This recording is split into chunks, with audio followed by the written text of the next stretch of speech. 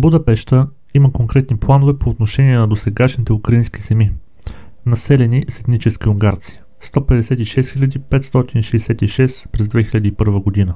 А те са прекалено много, за да не се съобразява Будапешта с тях. Все по-ясно се вижда възкресяването на Австро-Унгарската империя. Зад Виктор Орбан стои Светия престол и старата европейска аристокрация, която е свързана с европейския индустриален капитал. Унгарският премьер е някакъв вид лидер и представител на младите австро-унгарци. Това е цитат на Боян Чуков, публикуван в Епицентър, където във въпросната статия са публикували немалък брой негови изказвания, които той е направил в Телеграм, в своя Телеграм канал.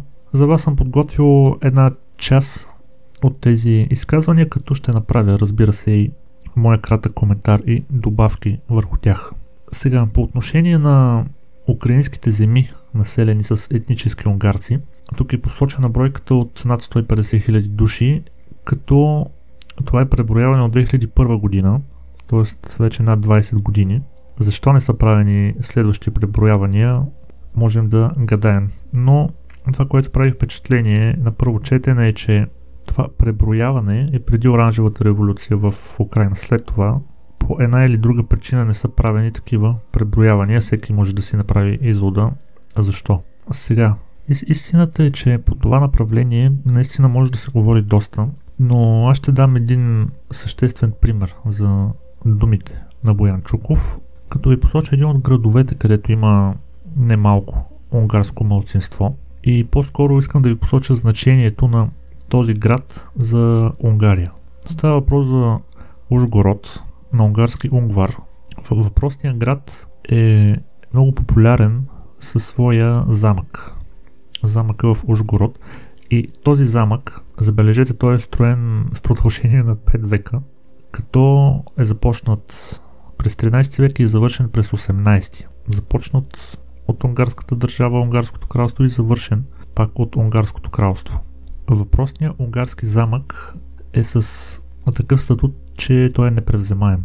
Тоест, града чисто исторически няма данни наистина някога да е бил превземан. Сами разбирате, че това носи след себе си една културна свързаност.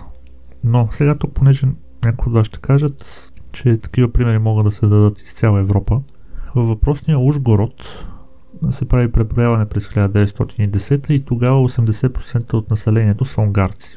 Сами разбирате, че града е унгарски, развиван през вековете като унгарски град с своята крепост и всичко останало. Това, което се случва, сами се досещате, че след Първата световна война кралство Унгария губи, губи този град. Губи града, той преминава в Чехословакия, в пределите на Чехословакия, а след това през Втората световна война преминава в пределите на Съветския съюз. Сега защо го казвам това нещо? Това е само един пример. Тук не говорим само за един отделен град, който унгарците са загубили през историята, но, но примера е ярък. Примера е ярък и го казвам, за да може да направите така една съпоставка по отношение на това, защо по определен начин, да речем, се държи Орбан, така да се изсветлят някои, някои неща чисто исторически, защото Ужгород, пак казвам, това е само един пример, имате други градове, между другото, дори чисто като процент унгарците не са толкова много сравнение с други градове, като Берегове, Мокачево, Пуст, Чоп. Така че това е само един пример и това разцепване на Унгария след Първата световна война няма как, как да се забрави. Друга интересна част от този абзац е възкресяването на Австро-Унгарската империя. Зад Виктор Орбан стои Светия престол и старата европейска аристокрация. Това възкресяване на Австро-Унгарската империя не е някакво хрумване тук така на господин Боян Чуков. Между другото, политико бяха писали за него, като заглавието бе, че се може да стане нещо страшно, ако стане така, че се възроди Австро-Унгария. Отделно от руска страна имаше също коментари за това така наречено възраждане на Австро-Унгария, че Русия би могла да помогне, за да се създаде една силна приятелска държава в Европа. Сега на този етап, погледнато по този начин, аз разбирам, че това ви изглежда като нещо, което е много трудно да се случи е в сферата на иллюзията, да кажем. Но по принцип, когато говорим за разпадане на държави или за създаването на нови, винаги изглежда по този начин. Никога Не изглежда така, сякаш е предначертано да се разпадне някоя държава или да се създаде такава. Винаги, винаги когато това се случва е в условията на, на война, по-конкретно след, след военни процеси, когато има големи катаклизми. Така че е разбираемо реакциите да са недоверчиви. Разбира се, когато се заговори за създаването на нова държава, тук не говорим за период, да речем, от 10-20 години, макар че не е невъзможно да се случи в една рамка от 20-25 години това нещо. Но може да стане 50, след 70 години. Но това е нещо, което не бива да бъде изключено предвид м- изключително слабата политика на Брюксел, на Европейския съюз, самите Австрия и Унгария, ако приемем, че Австрия до някаква степен е по-така приемана и причислявана към Запада, това не въжи за Унгария. Но самата Австрия, вие знаете, че ето тук един пример давам, на нея е забранено да влиза в военни съюзи. Като това сами разбирате, че е голяма пречка за националната сигурност на една страна. Разбира се, това е по отношение този закон се приема по отношение на Втората световна война. След Втората световна война го налагат това нещо на Австрия. Така че колко дълго би могла да издържи Австрия с едно такова условие, да не може да влиза в военни съюзи. Сега разбира се, когато имаме ЕС и НАТО, нещата са за Австрия, да кажем, приемливи, но ако има катаклизми в ЕС и НАТО, тогава какво правим? Тогава ще продължава ли Австрия да бъде с такава забрана? Унгария от другата страна сами, сами знаете, че тя е силно разкъсана. Няма как да, да бъде на един тон с тези, които са разкъсали държавата Първата световна война. Така че политиката на Орбан е лесно обяснима по това отношение. И тук той също споменава старата европейска аристокрация. Между другото, в своята статия Политико също набляга на така наречената стара европейска аристокрация, на която Австрия има ли желание, скритото желание да се облегнат и да възродят славата на Хабсбургите. Така че такива неща се говорят. Това не е нещо, което м- трябва да ви звучи шоково. Просто не достига до нас поради причината, че се намираме в определен спектър геополитически. И преди да продължа към следващия абзац, това, което ми направи интересно впечатление е, че когато се заговори в Европейския съюз за приемането на Украина в Европейския съюз, Австрия излиза с искането, забележете, Босна и Херцеговина да бъде прията в Европейския съюз. По претекст, че има силни политически и економически връзки с, с нея. Така че а, това е един много интересен паралел, който може да се направи с историята, защото вие знаете, че през 1908 Австро-Унгария анексира именно Босна и Херцеговина и това е едно от нещата, които довежда до, до големи проблеми на Балканите и е едно от нещата, които провокира и Първата световна война. Защото, отклонявам се малко от темата, но това е нещо, което сърбите не са го разглеждали като вариант. И не, не е било и угодно съответно и на, на Русия, тъй като Австро-Унгария се разширява. А пък Сърбия през цялото време е считала как Босна ще стане част от, от сръбската държава. И до тогава, между другото, те са в много добри отношения на Австро-Унгария и Сърбия. Вие знаете, че на Сърбия се помага а, в българо-сръбската война 1885.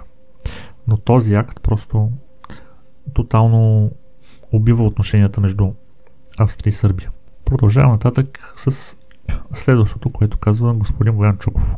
Виктор Орбан е протестант, но това в случая няма решаващо значение. Формира се австро-унгарско ядро в Европейския съюз, което в бъдеще ще се опита да взреви отвътре Евросъюза. Нещо като австро-унгарски екст. В него влизат Унгария, Словакия, Словения и мълчаливо Австрия. Всички в зоната на влияние на Ватикана. В бъдеще се очаква да се присъедини католическа Бавария. Точно тук е конфликтът между Ватикана и Лондонското Сити – директно свързано с банката за международни плащания в Базел. Сега тук има интересни неща отново, които са упоменати. Австро-унгарско ядро, което ще се опита да зреви отвътре Евросъюза.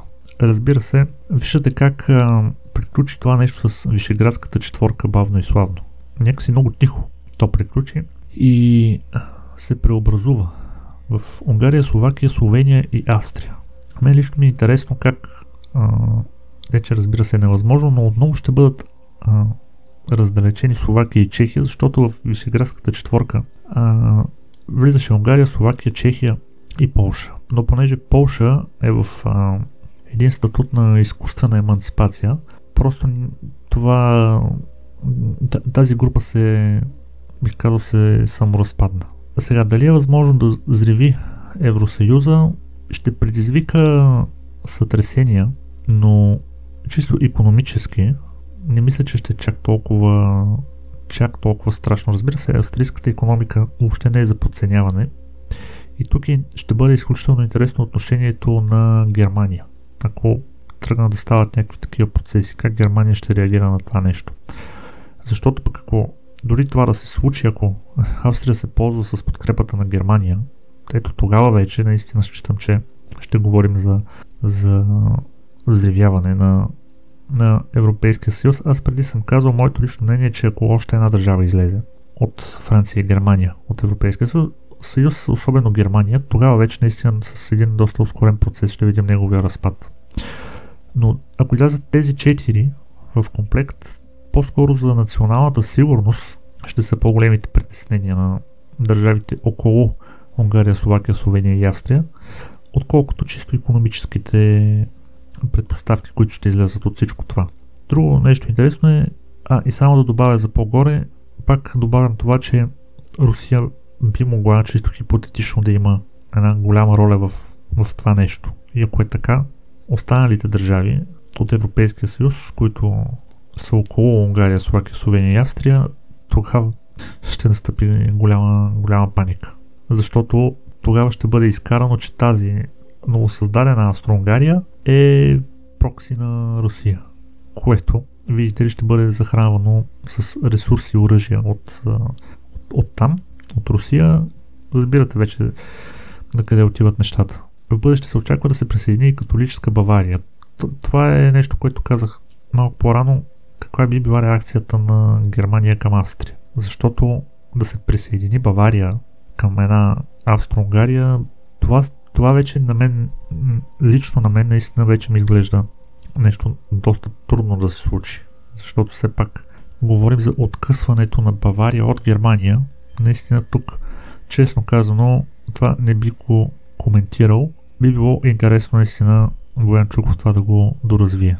Продължавам и с следващата част. Да се говори, че Виктор Орбан е агент на Путин е повече от малумно. Унгарецът преследва стрикно националните интереси на Унгария и се вписва в стратегията на Ватикана. Наскоро в Будапешта се проведе форум на консервативните глобални сили. Връзката на Виктор Орбан с Доналд Тръмп е очевидна. Старата европейска аристокрация, свързана с европейския индустриален капитал, има нужда от ефтината ресурсна база на Русия. Иначе Европа се разорява и деиндустриализира. Индустрията бяга в САЩ, Китай, Виетнам и други. Така, тук съм отбелязал две неща. Да се говори, че Виктор Орбан е агент на Путин е повече от малумно. Често казвам това с агентите на Путин придобива лично за мен нива на определение, които бих ги окачествил като небивалици. Вие сами знаете, че за Тръмп се говореше, че едва ли не Путин е направил така, че Тръмп да стане президент. Говореше, говореше се тогава за руски хакери, че са повлияли на изборите. А сега, знаете и за Орбан, а, това се говори от сумати време, знаете за Фицо имаше такива слухове. Така че това не е нещо, което ми, ми прави впечатление. Наистина, когато някой каже, че Путин е виновен, някак си прекалено много използваха либералните, неолибералните сили и някак си това вече не, лично за мен не ми звучи като някакво оръжие и нещо, на което може да се доверим агент на Путин. А, всички ходове на Орбан те наистина, както е написал Гоян Чуков, те просто могат да се оправдаят с това, че той гони интересите на Унгария. Това е истината. Ако Запада не бе разбил Унгария по този начин преди 100 години, малко повече от 100 години, сега нямаше да го има съответно и този проблем.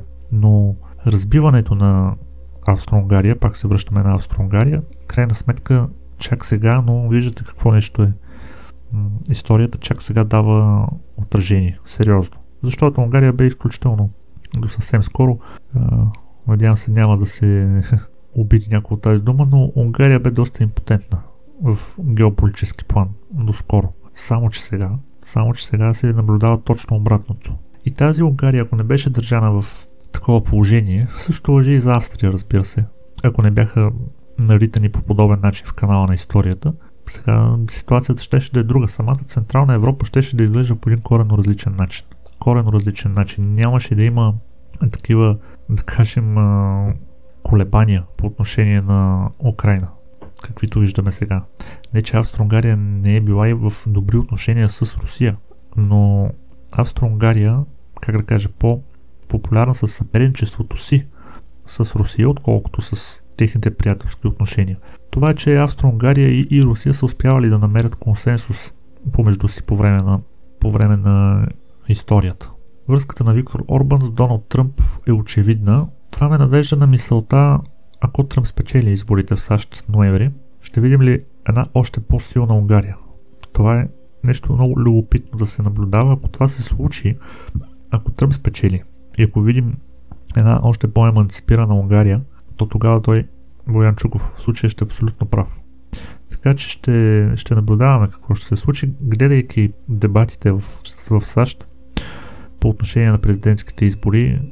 Аз ще бъда, да не казвам шокиран, но дълбоко изненадан, ако Байден спечели. Но манипулациите на избори не се случват само в България, вие знаете. Няма как да знаем какво биха предприели определени кръгове в щатите, за да се случат определени неща. И последното, което съм приготвил за вас. Това е основната разделителна линия вътре в българските политически партии, които се тръсат от скандали и разцепления. Национално отговорен не означава путинист. По-интелигентните го разбраха отдавна. Очевидно започва голямото надхитряне. Миналата година украинският контранаступ се провали с гръм и трясък. САЩ и КО се убедиха, че не могат да победят по военен път Русия. САЩ нямат ресурс да се борят на два фронта срещу Китай и Русия. За Близкия изток да не говорим.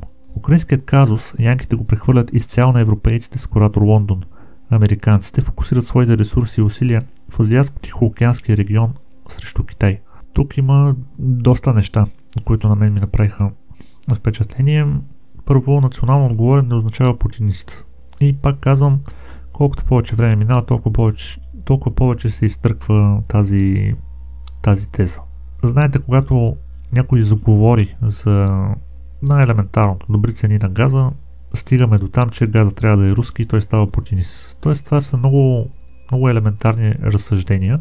Още повече, че България, не само България разбира се, но до сега България винаги е се е снабдявала с газ именно от там, от Русия.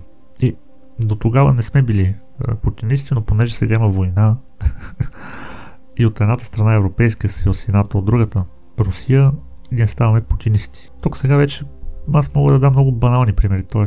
има големи австрийски компании в Австрия, които се снабдяват с руски газ. Това прави ли ги путинисти? Но крайна сметка на подобни твърдения е нормално да се отговаря и по подобен банален начин.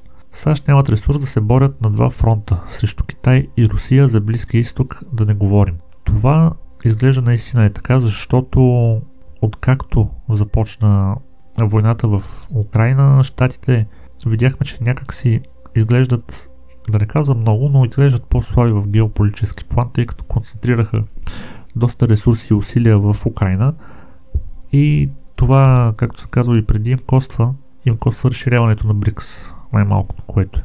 Държавите видяха, че хватката е отпусната от страна на САЩ и че те могат да предприемат определени действия и някои от тях влязоха в БРИКС, други са подали заявление за членство. Тук сега да не се отклонява много, но БРИКС имаше едно изявление от, от прес-центъра на БРИКС, че той не може да се разширява най-просто казано тук така.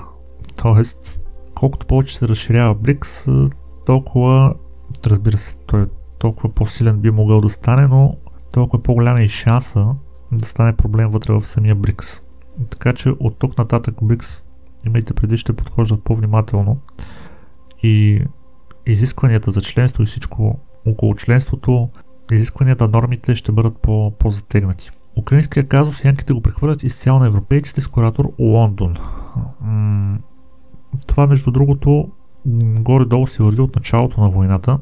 Британците си участват доста активно, знаете, в, в украинския казус. Дори имаше една информация, че са били на път да се договорят Зеленски, а, да кажем, Зеленски разбирайте като аватара, но Зеленски и Путин да се договорят за мир в Украина, само че се е намерил Борис Джонсън тогава, който бе на власт и осуетил това нещо. Това беше около, да кажем, година и половина-две това действие. Така че това е нещо, което е подготвено, подготвено като план Б от Съединените щати.